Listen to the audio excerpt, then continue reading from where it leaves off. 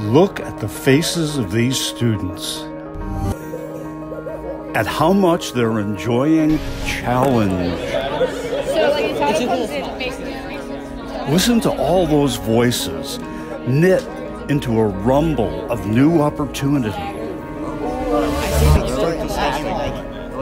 Imagine the cooperation it takes to wrestle their diverse ideas into an effective team. These are the skills kids need to jumpstart any career today.